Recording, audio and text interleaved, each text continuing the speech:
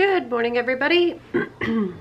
so this week, we're going to talk a little bit about our upcoming breedings that we're having next week that we're going to be um, taking place. So Maggie is in heat. Um, she started like Monday. She also, um, we also have Nala that's in heat too. It's, they share a room and it's like almost when you get one in heat, Another one will go in heat. Sometimes we'd had four girls in heat. Um, we don't always breed everybody that comes into heat. Sometimes we, as you know, we skip heats. We, you know, we do stuff like that. Or sometimes we do breed back to back.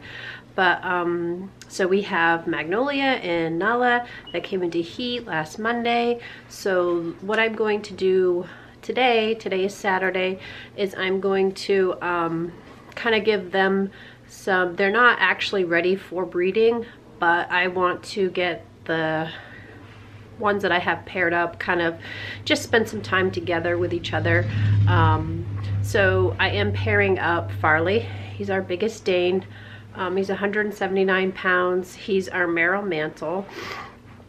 We are pairing him up with Magnolia. Magnolia is a first-time mom. She's our fawn mantle. Um, she comes from Eva and Hurley. She's a big girl, uh, hefty, hefty, hefty. So they should um, produce some really big puppies. I'm kind of curious on what they're going to produce too. Uh, Magnolia has a lot of colors that she carries.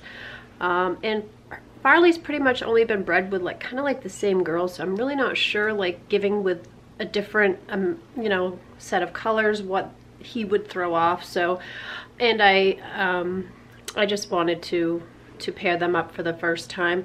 I will uh, pair uh, Magnolia up with Diesel. He's our uh, mantle tan point. Maybe her next litter that she has will be with Diesel. But right now, um, Farley's, you know, a good stud, a mature stud. He knows what he's doing. So, and I'm kind of curious to see what they would have. So that's why I'm doing them first. So today I'll um, take Farley and Maggie and let them spend some time together. They can play, do whatever they want. They have been together before, roommates, um, when Ebby uh, was pregnant. Um, she came out of the room and, and Maggie kind of went in there and stayed with Farley so he wasn't lonely. So they do see each other. They just normally don't go out together because Maggie's um, younger and Farley usually hangs out with Ebby so that's why that is. Um, our other one is Nala. So Nala I'm going to try with Diesel. Uh, we'll see how it goes. Nala is the one that had a singleton um, last spring. Um, so I really haven't posted on our page that I was breeding her but I am going to breed her. I want to see um, if it was just a fluke last time or I was off with timing. Timing is everything. So I could have just been off uh, timing and we ended up with a singleton. So this time I'm going to try with Diesel and she plays with Diesel all the time. So they Diesel absolutely loves her. So there's nothing new there, but I'll just put them out together. He's been sniffing and, you know, he's a new stud, so he doesn't really know what he's doing. So if it doesn't pan out, it doesn't pan out. No big deal. Um, but we are going to try. We're just curious to see if Nala just had, you know, a singleton for, you know, our timing off, her ovulation or something. So we're going to try that. She was bred with Hurley last time, and Hurley's a great stud too.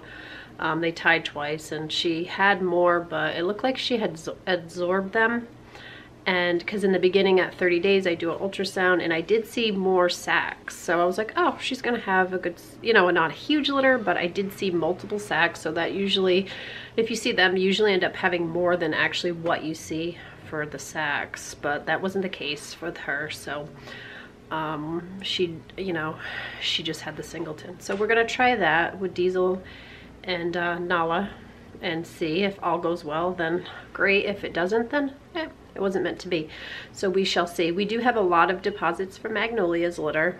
Um, if Nala ends up taking, then we'll have, you know, more open spots too. I won't know for 30 days. But both the girls came into heat on the same time. uh, Monday. So today is, it's about, it's Saturday, so it's only five days into it. So they're definitely probably not ovulated yet. Um, typically, um, they don't ovulate till day 11.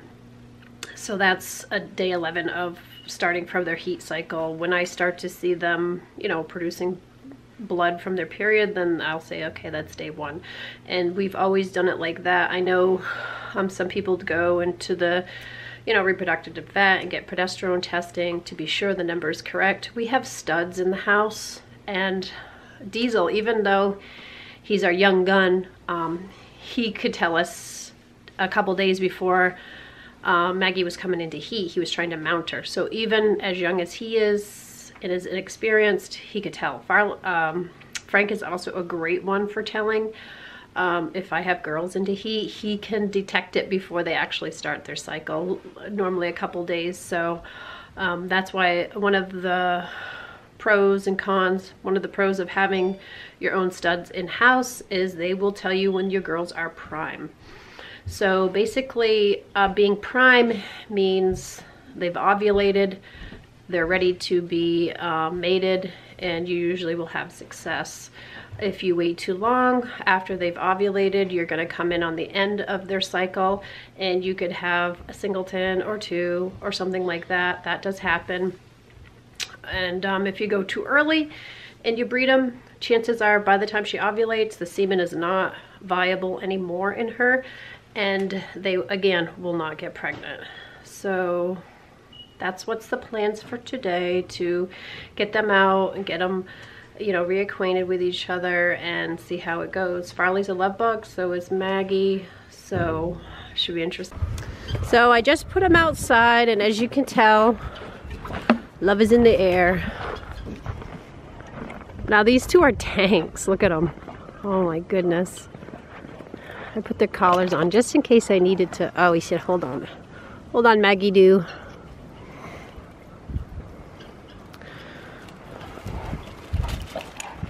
So this is just kind of to get them reacquainted. Um, so when they breed, I mean, I'll probably still, this will be her first time, so I'll probably, we're always um, there when it happens. We always assist, because um, you never know. But, uh, He's, oh, he said, I don't think she's ready yet, buddy. He's hoping. And it is freezing out today, but I thought they need to see each other because um, it'll be mid next week when she starts to be around that day 11 mark that I was talking about. And as you can see, we have friendly Danes. Maggie's a tank and he is too. She makes him actually not look so big, but he's 100 and almost 80 pounds. And I've been trying to slim him down a little bit, but uh, he likes to steal whoever's food didn't get eaten. His little, his main love, Abigail, um, he, he likes to steal her food. So I've been making sure that she gets her food and he gets a little bit less to try to slim little chubby down. So, but he's very happy with her and she's very happy playing with him.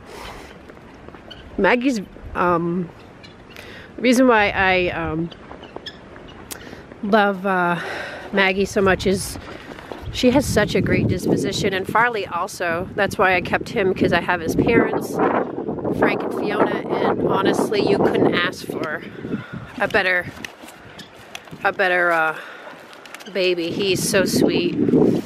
Um, and Maggie comes from Hurley, and um, Hurley and Eve, Eva, Beaver Ever, and uh, again, those two are some t-shirt on. Be here chattering, it's just my teeth. So I'm gonna let them play for a little bit. Um, she's not prime. He knows it. He's a great indicator. So, but he's gonna have fun just horsing around with her and she loves to play. So, um, I'll probably get my coat on and maybe come back out and hang with them, but it's super cold today. It's windy and uh, So that's that. So this is the Valentine's t-shirt that I kind of came up with. I've only made one for myself. I really thought it was cute. I might change it a little bit to write head and tail, but this was my first um, first run. So it's kind of like Valentine's. It was, you know, I love you from here to here and it's, so I made that. I like it, it's cute. Uh, didn't take me long. If anybody's interested um, in one of these t-shirts, you can always message us on Devoted Danes and I could whip you make you one, make you one. I can't talk today. Make you one. Um, so that's our plan. so my next video I should be able to tell you who's been bred and who hasn't been bred or hoping that both will be bred and we'll have two successful litters. Um, that's the plan. Um, it looks like Farley is ready for it. Yep. He was all excited when he came downstairs and saw her. they do play well together. So I can't wait to see what they'll produce. Maggie likes it because he's playful too. He's not just a stud that will, you know, bite and grab them and, and just breed. He's, he's playful, so that's what we like about it. Um, our studs too, they're sweet. And when we do offer studding too, on at Devoted Danes, we have a couple of ours. Farley's a studded out one, and so is Hurley. Hurley has some dates lined up. Um, so we do offer studding. Diesel's not up for studding. Um, so, but we do have the two boys and um, if anybody's interested in that you can message devoted danes i have had people asking about how do they um, you know how do they find somebody to stud their their dane with? Um, we don't normally do outside studding we have in the past before we got more studs but um, we really don't now. But we do stud out a couple of our boys um, and and that works out pretty well. You know, for locally, we we have um, you know, within our area. We are in New Hampshire, so, and somebody has asked me if I ship semen. I haven't done that um, either. We do have a reproductive vet, so I mean, if somebody was really interested, I could find out and, you know, get all the information about that, but we haven't done that. We haven't had the need to do that um, so we haven't and we do um, we have done AI artificial insemination before that's how we ended up with Farley but we prefer a natural tie uh, over that. I know some people like different breeds only do AIing um, big dogs if they're agile and they can do it I prefer a natural tie. So that's what we shoot for. We have you know like I said we have done AI and we have been successful at it but we typically don't prefer to do those because um, it is um, more of a regiment where when we do breedings we'll do if we have a tie we'll skip a day and we'll do another tie with AI we do it for a longer period of time and we do it every day so it's constantly you know uh, we do it for I think five days is what we'll do but we collect and inject um, into the female every day for five days. It is time consuming and um, but we have done it. I mean we have uh, Frank that was a big stud so when he was younger he was agile and able to produce his first litter. Second litter um, he has more European in him. He wasn't able to keep himself up for very long so we AI'd because we definitely love Frank and Fiona and that's how we ended up with Farley and we did keep Farley and his brother Zeklin went um, to a home. So, but we do that, but we don't offer, we don't typically, uh, typically offer doing AI for other people. It's just too much, uh, too much work, too much scheduling. Um, I do work, um, Michaela works also. Um, we are in two different locations, but we have done breedings. We have done studdings, mostly Hurley because he's our solid. Farley spotted, so he doesn't, you know, it's kind of limited on what he can use for girls. But I preferably mostly like to just use them for my own because I know, um, you know, who he's been with and because you do have to do different testing for that too to be sure that you're not transmitting any kind of sexual, you know, disease to the next, you know, just like humans, STDs. It happens in dogs too, so they do have testing for that to be sure that, you know, you're not passing anything. So to be responsible, you should do that in between breedings, especially for outside settings and you don't know who or where the female is coming from. And I mean, honestly, they probably feel the same way too about the male. But yet we do offer some studding. Um, we do have a deposit list pretty long for magnolias. We've had some people on there for we've had some people on there for a while that just wanted magnolias puppy and then we've had you know other people that kind of got shuffled around because um, they didn't happen to get what they wanted or you know we had seven and only one boy and you know six girls or some some kind of scenario like that. So we've had to kind of bump people. Um, so we try to take care of people that have been on our list for a while. Um, I have some people that only email us and I try to keep them in the loop what's going on. Those are the people that technically will get insider information before we post it. Um, I'll tell them hey you know finally you know we're going to be breeding this week or hey we had a um, an ultrasound and it only showed two or one and this is what our plans are because we try to you know we try to deliver you know to everybody and make everybody satisfied but sometimes things don't always go as planned. So I've only been taking deposits for Magnolia right now. I haven't taken them for Nala because she did have a singleton last time and I want to be sure you know we have more um, puppies. So once I confirm that she does have you know, over 30 days and, she, and just keep following her, we will take deposits for her puppies as well. Her and Diesel. So, um, Nala's are Merle and um, Diesel's are Mantle Tan Point. So both should carry blue. Um, Diesel carries blue and piebald, and Nala comes from Farley and Ebby, so we have blue there. So I'm thinking blue puppies. That would be nice. But we will also see their um, variations.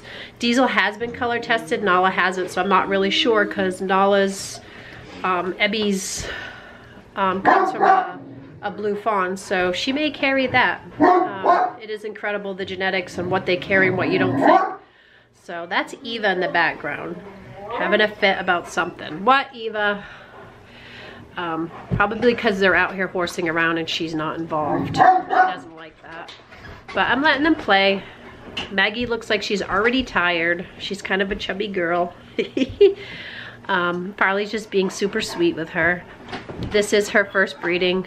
So, you know, we're ready for it. And she's gonna be a new mom, and I would also still consider Nala a new mom. So we'll have our hands full if they both, um, you know, indeed get pregnant and produce a litter. So we'll be busy.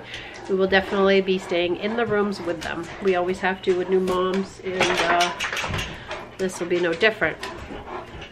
So um, if you have any questions or anything, just kind of put them in and I'll try to answer questions that you have. Um, we're trying to hit 100 subscribers. We're kind of new to our channel. Um, I only probably do one video a week. So right now that's what I try to do the content for the week and see what I have and add it to one video. I don't think I would have time right now to do more than that. I am back to work. I do have, you know, my flea of birds and I do have uh, my Dane, so it keeps us busy. So, and then we do live on a, a farm, so there's always stuff to do. So again, if you have any questions, just either contact us at Devoted Danes on our Facebook or just leave questions here and I'll get to them as soon as I. So this is Mama Eleanor. She is the one that is the puppy's mama. as you can see, She's healed up. She looks great. She ended up with having a spay, if you didn't remember or didn't follow us. So she's the boys to the twins. Her big boys are upstairs. But she's definitely healed up. She's doing great. She's back to herself. Um, she's just doing fabulous, as you can see. She's enjoying her time away from her boys. She still does go up and feed them, even though they are almost five weeks old on Monday, and they eat a lot. So these are the boys, a little update on the boys. They will be, hey handsome. They They'll be five weeks old on Monday, and they're both extremely big. Um, this is George. George is up to 10 pounds. This is Emmett. He's 11 and a half pounds. Last time I weighed him, which was a few days ago, so he's probably more like 12 pounds, I wouldn't doubt. But these are the two, um, two that we had from Ellie. So they're doing good. They do both have homes. So this is their area. They now have toys. This is their potty area. As you can see, they use it. So this is how we train. We start off with just a little bit of shavings in the middle. So they will get up, toddle over, go pee, you know, poop. And then as they get older, they know they have to track down here. As you can see, you can see the poop in there. So they're definitely using their space. And we try to keep um, the potty area big. So, you know, if they're toddling in like, oh, George has got to go. He's going in. He's going pee-pee. Hey, Emmett.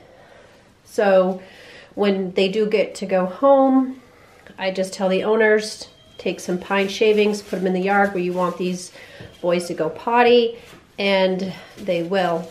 Um, some people use the doorbell system. We just use the shavings. Um, all our Danes um, that we, look at him, he's pooping.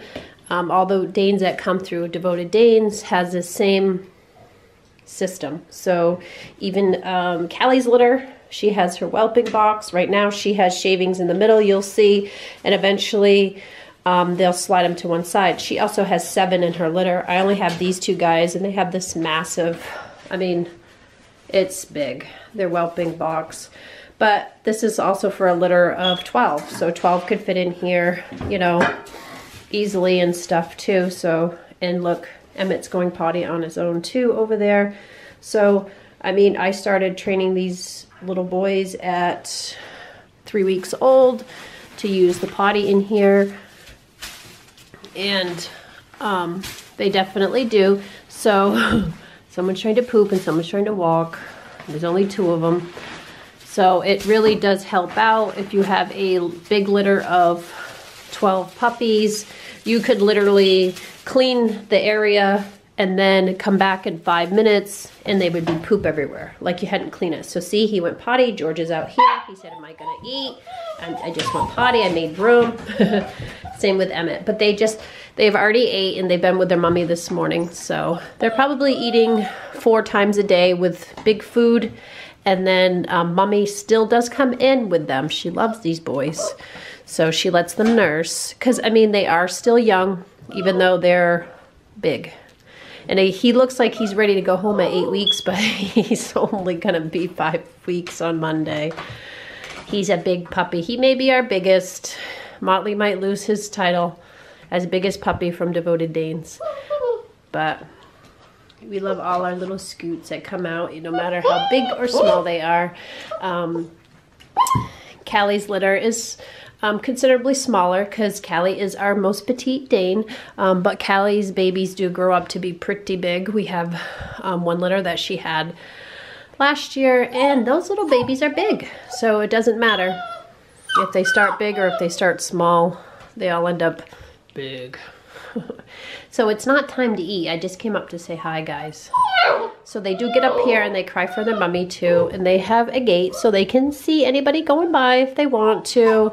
And um, some of them, the big dogs, do come in and visit these guys. Grandma Fiona loves to see them and she'll give them a couple licks for the day. Yeah, so they're doing good. They already have their appointment eight weeks set up at our vet. Um, so we set that up pretty early, especially with the COVID and the curbside. So, but these two do play together. I'll be watching them on their surveillance. They're in here playing. You know, I'm just glad there's two because one would be hard. Yep, having two, they at least have each other and they have a playmate. And I did put toys down, but they haven't really realized they're playing, they're really for play yet. So they'll get it. But that's the boys. They're doing great. You saw mom. Mom's doing fantastic. And this is her last litter. hey. Hey, you little boys. And I usually change their bedding. I mean, because there's only two and they go potty train, I really don't have to change their bedding as much as if I had uh, 12 of them in here. So they're doing really good. But I did change their bedding because they do have pee-pee accidents. Yep. We do. You didn't have to tell everybody. So that's them.